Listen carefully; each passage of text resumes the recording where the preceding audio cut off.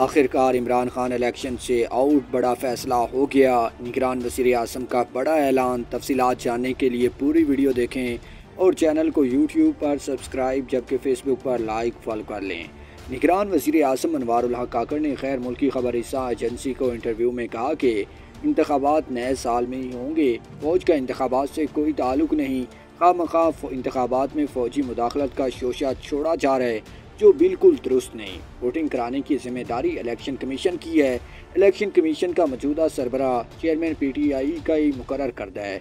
तो वो क्यों इनकी मुखालफत करेंगे? जो तोड़ फोड़ और आतिशनी में गैर कानूनी सरगर्मियों में मुलविस होने की वजह से जेल में हैं। अमरीकी T V channel C N N को इंटरव्यू देते हुए उन्होंने कहा कि पाकिस्तान में आम इंतबात के इनका और पाक अमरीका ताल्लुक से मुतल सवाल के जवाब देते हुए कहा कि वो आज़ादाना और मुनसफ़ाना इंतबात को यकीनी बनाएँगे। निगरान हुकूमत या कोई भी इलेक्शन पर असरअंदाज नहीं हो सकता। अगर कोई ऐसा करने की कोशिश करेगा तो इससे कानून के मुताबिक निपटा जाएगा। अनवारुल्ला काकर ने कहा कि मुझे यकीन है कि जनवरी में इंतबात हो जाएँगे। क्योंकि आइन के मुताबिक नई हल्का बंदियों में दो से तीन माह का वक्त लगता है। इसके बाद हल्का बंदियों पर एतराज़ात के साथ इसमें तकरीबन चार माह लगेंगे।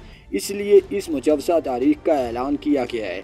मुझे यकीन है कि इस टाइम लाइन में हम इंतबात कराने में कामयाब हो जाएँगे।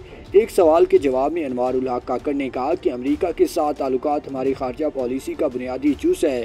हम हमेशा अपने रास्ते ढूँढने की कोशिश करते हैं जिनसे इन ताल्लुक को तमीरी और मजीद बेहतर बनाया जा सके। निगरान हुकूमत हो या मुंतखब हुकूमत, हर कोई वो अमेरिका के साथ ताल्लुक की अहमियत को समझता है। यही वजह है कि हम इन ताल्लुक को फ़रोग देने के लिए कोशियाँ रहते हैं। निगरान वज़ीर अजम अनवर काकर ने कहा कि इमरान खान और उनके असीर साथियों के बगैर भी आम इंतबात हो सकते हैं।